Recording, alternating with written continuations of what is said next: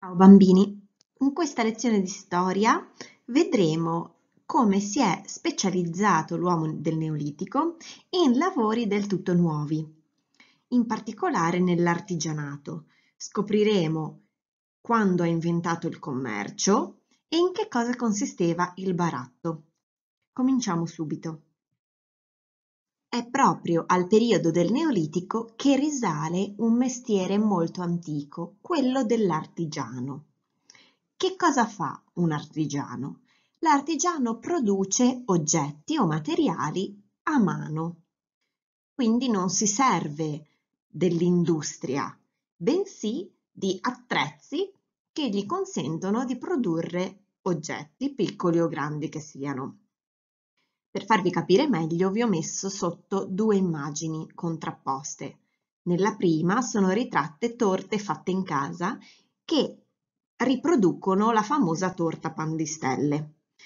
Se le osservate, oltre al fatto che ci viene una grande fame, ci rendiamo conto che tutte e tre le torte sono fatte in maniera differente. Ricordano la pan di stelle, ma sono diverse.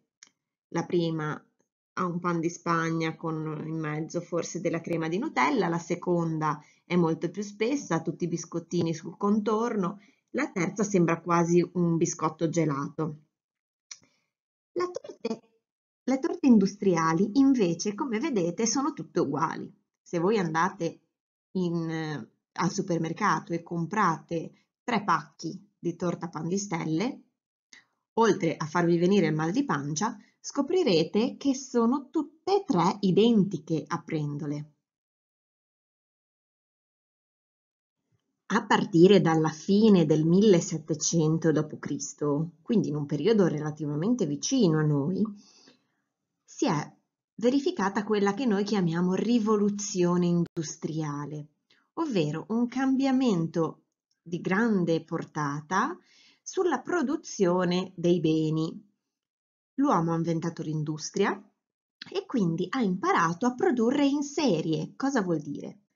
Vuol dire a fare tutte quelle torte tutte uguali, a produrre tutte quelle torte pan di stelle per distribuirle alla massa, cioè a una grandissima porzione di popolazione.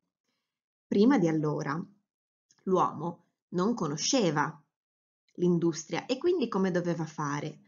Produceva a mano tutti i beni di cui aveva bisogno. Si può dire quindi che in passato tutte le torte fossero artigianali, ma non solo le torte, i vasi, gli utensili da cucina, gli oggetti, ehm, qualsiasi strumento necessario all'uomo per compiere qualche attività era prodotto a mano. Vasi, forchette e via dicendo.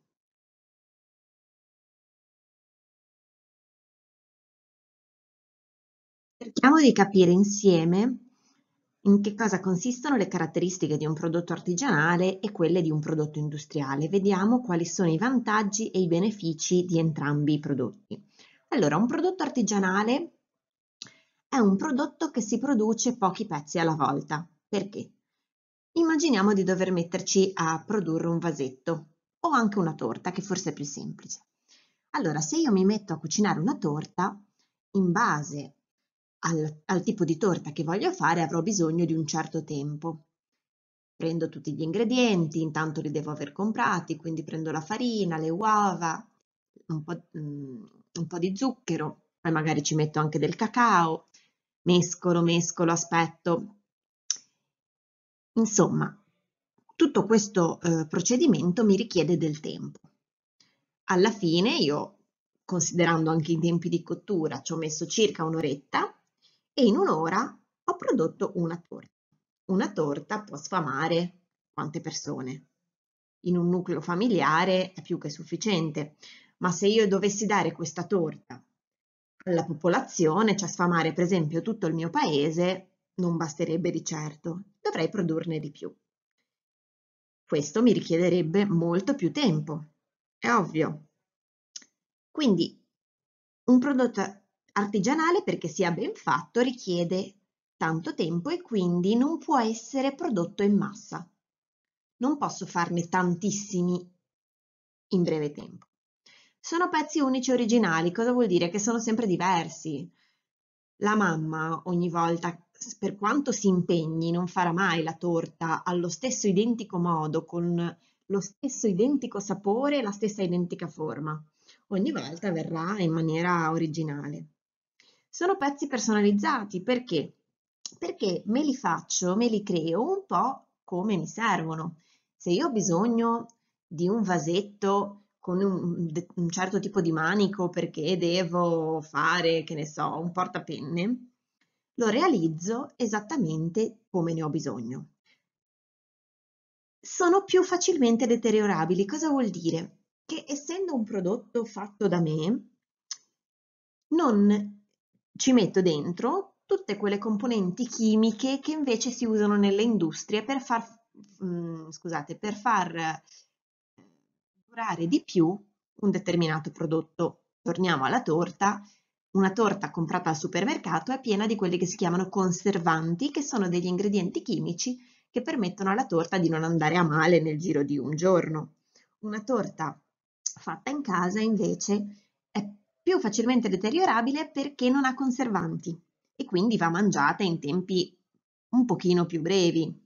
Non dobbiamo di certo ingozzarci di tutta la torta all'istante, ma una settimana dopo quella stessa torta sarà abbastanza immangiabile ormai se non l'abbiamo ancora finita.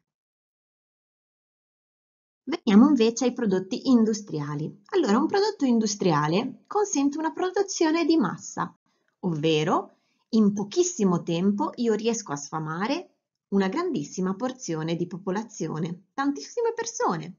Tant'è vero che quando andate al supermercato e trovate la famosa torta pan di stelle non ce n'è una confezione. Ma quante? Tantissime. E oltre a quelle che trovate negli scaffali ce ne sono altrettante nei magazzini. I pezzi sono standard, cioè sono tutti uguali, come vi ho detto prima. Quando andate in cartoleria a comprare le penne, non sono fatte artigianali, non ve ne danno una diversa dall'altra ogni volta che andate a comprare.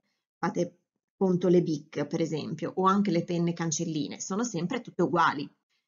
Questo mh, perché la macchina, lo strumento che produce l'oggetto o il bene alimentare ha una forma sua specifica e quindi li fa tutti uguali. Non c'è l'intervento dell'uomo.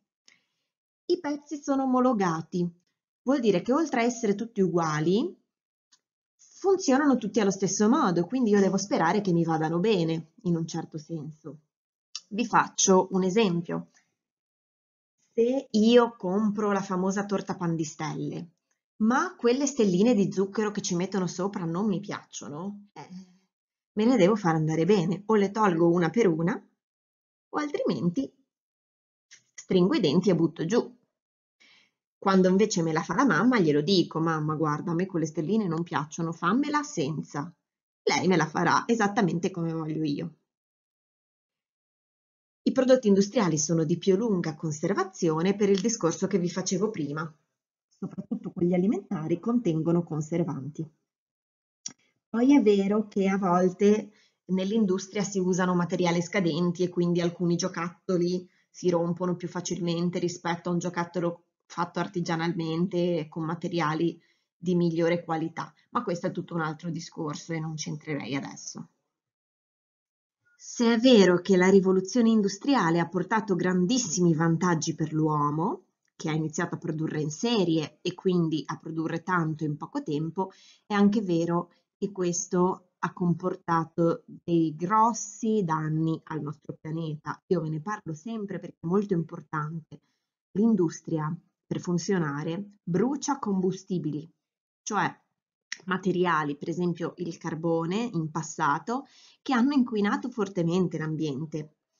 Si stima che oggi la produzione di massa sia così alta che è come se l'uomo stesse ehm, sfruttando tre volte di più le risorse che sono sul pianeta, cioè come se stessimo usando pianeti per costruirci le nostre cose, non uno solo. Vuol dire che la Terra è estremamente sofferente e quindi questo sistema di produzione industriale non va bene così come è fatto. Bisognerà che l'uomo trovi un modo per continuare a produrre molto, ma senza sprecare così tante risorse. Per esempio, sfruttando l'energia sostenibile, ne avrete sentito parlare, forse l'avete studiato con la maestra Anna di Scienze. L'energia sostenibile non è altro che energia prodotta da fonti rinnovabili, per esempio l'energia solare, la luce del sole. Se voi, molto semplicisticamente, eh, sfruttate l'energia del sole, che è un'energia che produce calore, potete per esempio eh, far azionare l'elettricità e quindi accendere la lampadina in casa grazie all'energia prodotta dal sole. È una cosa molto complessa che ora non vi sto a spiegare perché comunque non la capireste bene. Quello che è certo è che di sicuro l'industria può essere eh, realizzata con metodi più sostenibili per il pianeta.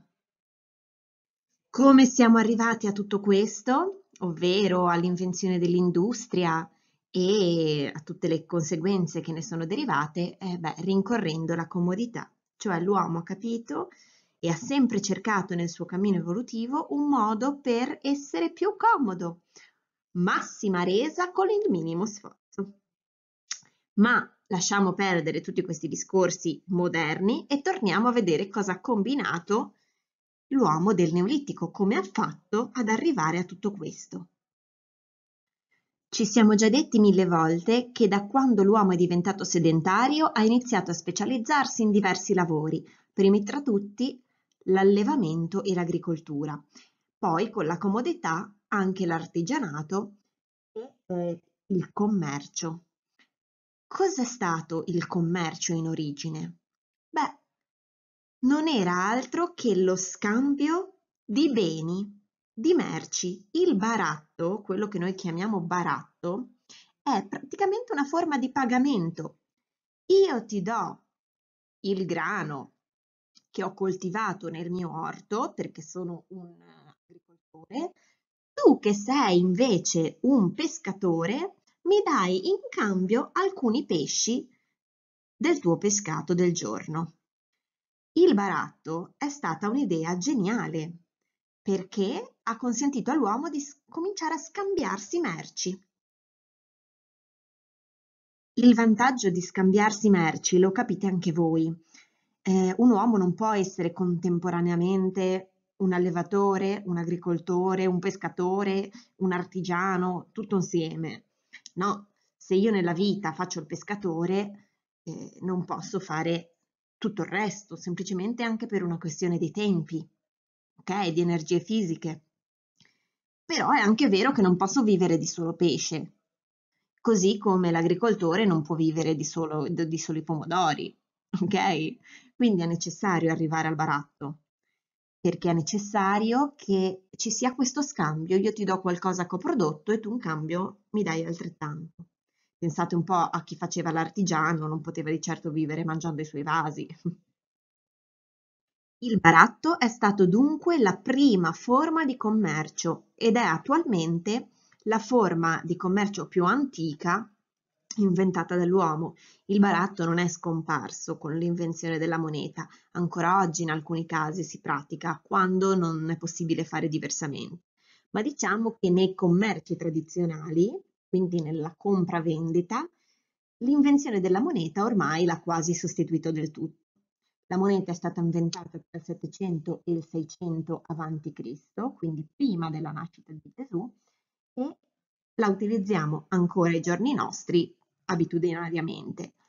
E se vedete le immagini, la prima moneta, le prime monete in generale, eh, erano forgiate a mano da artigiani.